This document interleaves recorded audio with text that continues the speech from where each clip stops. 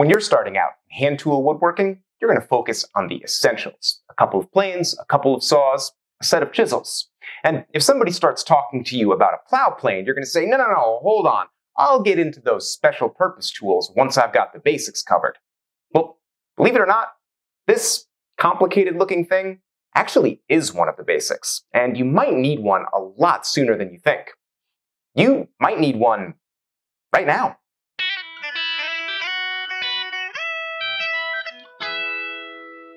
Plow planes make grooves, narrow channels along the grain in a board.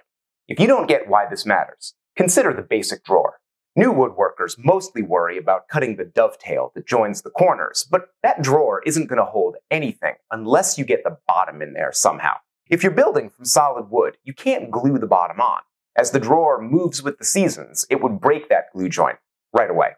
Let's flip that drawer over to see how it's done. The bottom is nailed at the back, but it's actually sitting in a shallow groove. You can see it right here in the corner. That groove goes along both sides and the front of the drawer, giving the bottom full support all around. At the rear, the bottom is nailed in place, which keeps it from sliding out of that groove.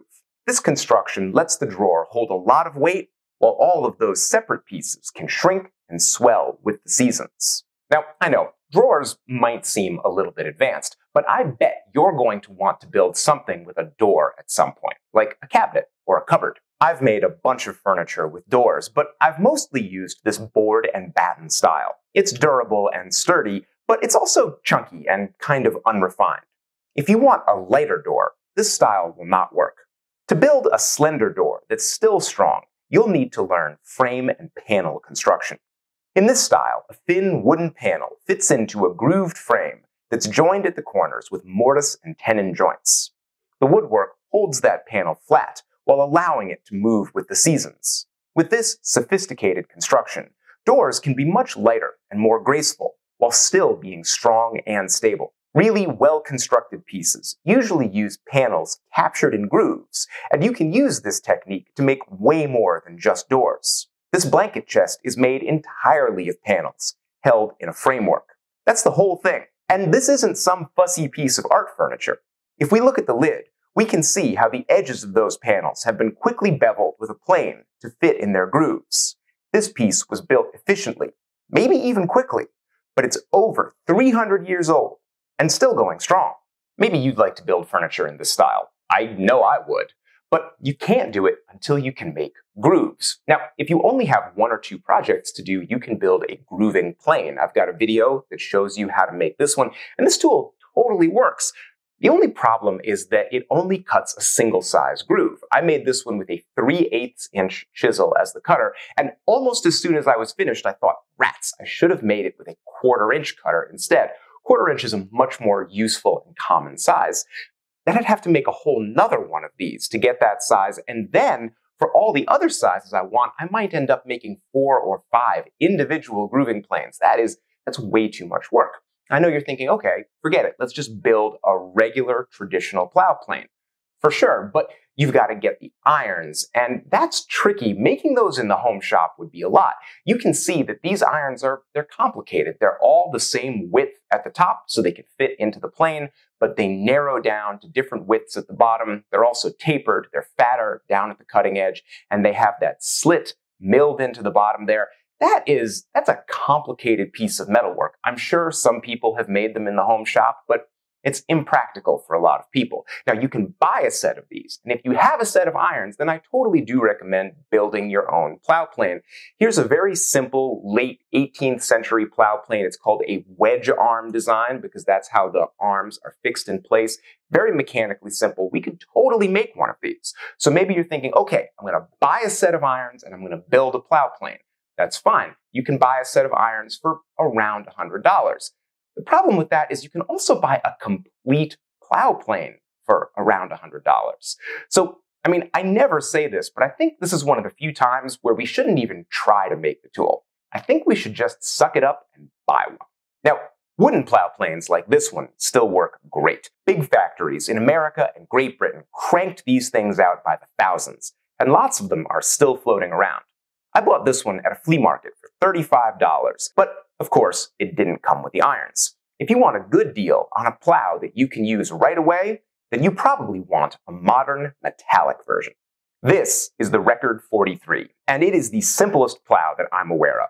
It's got a main body that holds the cutter, it's got a fence, and a depth stop. The 43 comes with three cutters, an eighth of an inch, three sixteenths, and quarter inch. These are small sizes, and they won't do the job for a paneled chest, but they'll handle all your drawer grooving needs and allow you to make some nice paneled doors. Depending on the work you do, the 43 might be all you need.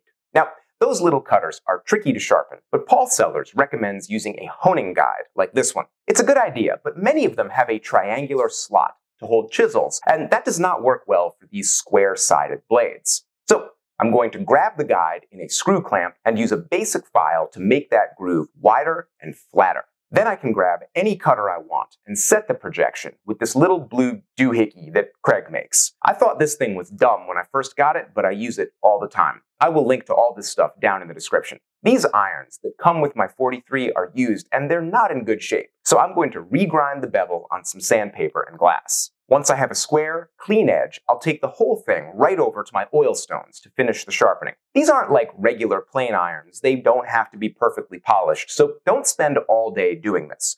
Once your irons are sharp, it only takes a minute to set the plane up. The lever cap for this plane is loose. It's held in by friction and tension from that screw. Put the iron in and make sure it's pressed all the way to the right. Then add the cap and tighten it down. Plow planes can take a pretty heavy cut, but any plane will choke if the setting is too aggressive. The 43 has no adjuster, so you can move the blade around with your fingers or give it a tap with a narrow hammer. Getting the correct setting isn't very difficult. With any plow, it's easiest to start your groove at the far end of the board. Take a short stroke, move back a bit, and take another stroke. Work your way backwards along the board, taking a slightly longer stroke each time. Any plow plane should have a depth stop, and you can set that to keep yourself from going too deeply. Use your left hand to press the fence firmly against the board, and use your right hand just for pushing the plane forward. Starting at the far end of the board allows the blade to be set for a heavy cut, but still start easily. With this setup, your grooves will come out clean, but they'll also be quick. Now, the 43 does tend to clog. You can see the shavings really packed in there, but you can just take a pencil and poke them out from the far side. It only takes a second and you're back to work. Here's a nicely completed groove. Now, what can we do with it? Well, here's a nice piece of white pine, and I'm just going to use some regular bench planes to turn it into a raised panel. Making panels can be very complicated, but this basic bevel design has a long history, and it works well. I have gauge lines on the front and edge of the board, so I don't overshoot, and this goes very quickly. If you'd like an even more precise fit, you can run a little rabbet on the very edge of the board. I'm basically just messing around here, but I have successfully created a grooved rail and a panel that fits nicely into it. And that panel can still slide around for seasonal movement. This kind of work really isn't complicated, but you do need a plow plane. The 43 is fairly common and not very expensive. I think I paid 80 bucks for mine with all three cutters and everything. These are much more common in Great Britain than America, so if you get one, you might have to eat some shipping costs, but I still think they're a good deal for a very capable little tool. And come on, it's it's adorable. E- even my wife thinks this thing is cute, and she does not care about tools. Now, the 43, for all of its good size, it is limited to fairly narrow grooves. If you want to do larger work, you're going to need a bigger plane. Here's the Record 50. It's bigger and more complicated than the 43 and comes with a big set of irons in various sizes. Looks good, right? Now, using this larger plane is, oh, wait, it, it actually comes with a few more accessories that I forgot to mention. Things like a full set of beading cutters, a tongue and groove cutter, a short set of fence arms, the auxiliary beading depth stop.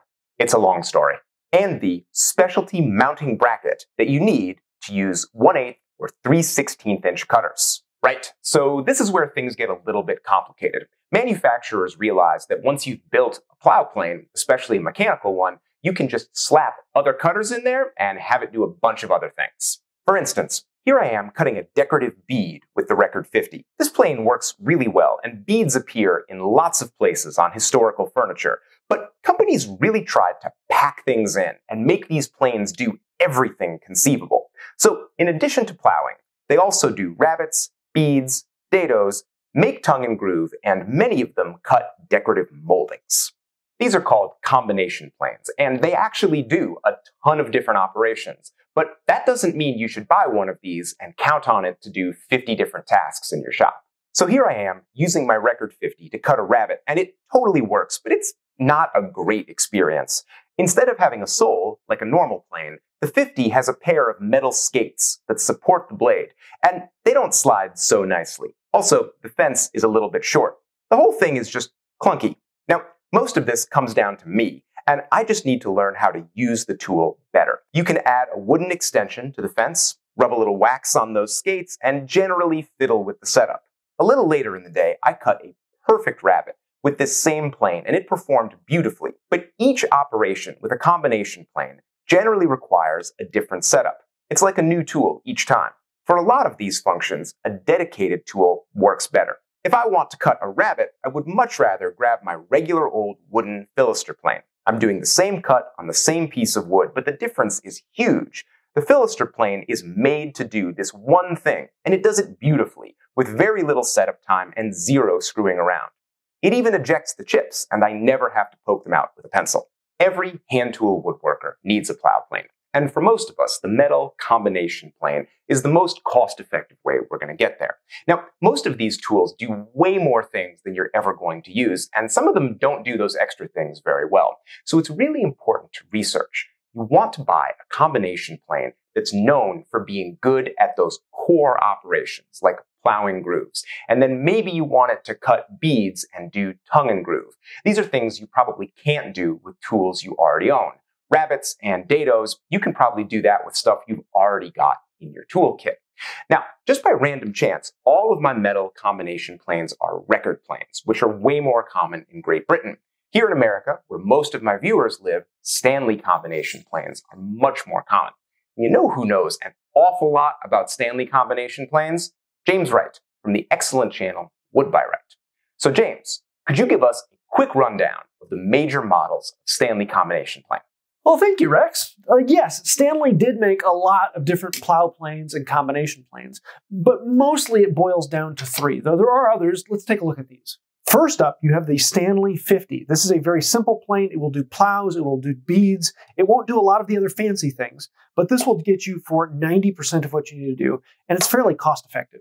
Next up, we have the Stanley 45. This is kind of the mid-range. This will do a lot of different things. 99% of what you need to do, this will do. It'll do all your plowing, it'll do your beading, it will do several of your coves and other specialties. It won't do a lot of the hollows and rounds, but for 99% of anything you need to do, this will do it. It is a fantastic plane that will treat you all the way along. Then there are those of you with deeper pockets and you want something a little more flashy. That is the Stanley 55. This is the king of hand planes, the greatest of all combination plow planes. This will do everything. It's amazing, but it costs a ton. So in general, most of the time, I'm going to suggest if you can find a Stanley 50, that's the one to get. They're a little harder to find, but they're cost effective and they will do almost everything you need them to do. If you can't find one of those, then a 45, you're going to spend a little bit more, but this will do 99% of everything you've ever wanted to do with a plow plane or combination plane. That's why this is probably the most common one because it fits most people.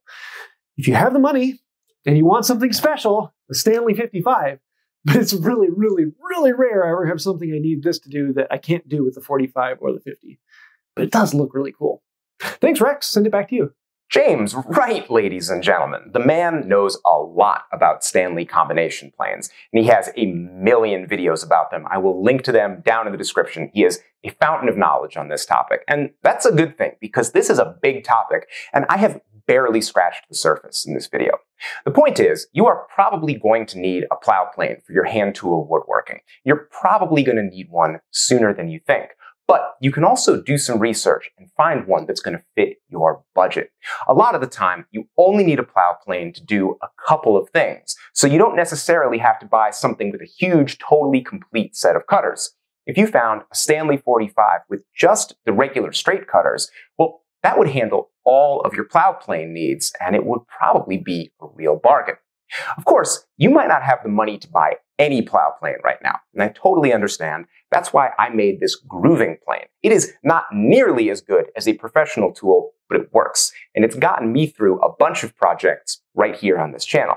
If you'd like to build one of these, of course, I have a video and I have a set of plans. And because we love to bundle stuff around here, we are including that grooving plane in our newly revised specialty plane bundle. This is one set of plans that will let you build five specialty tools, including a router plane, a rabbet plane, a spoke shave, and a fully adjustable jointer plane. And because we love bundling things together, we're also including the plans for our Roubo winding sticks, another really useful tool you can make in your own shop out of random scraps. And that plan is included as a special bonus when you buy this plan bundle. Of course, my patrons get all my plans for free. They also get access to a new thing we're doing called the Workbench Sessions. These are a series of exclusive lectures delivered by some of the biggest names in woodworking and craft skills. For instance, this week, tomorrow, we have special guests, the editors of Mortise and Tenon magazine. They are going to give us a live shop tour and do a Q&A just for my patrons.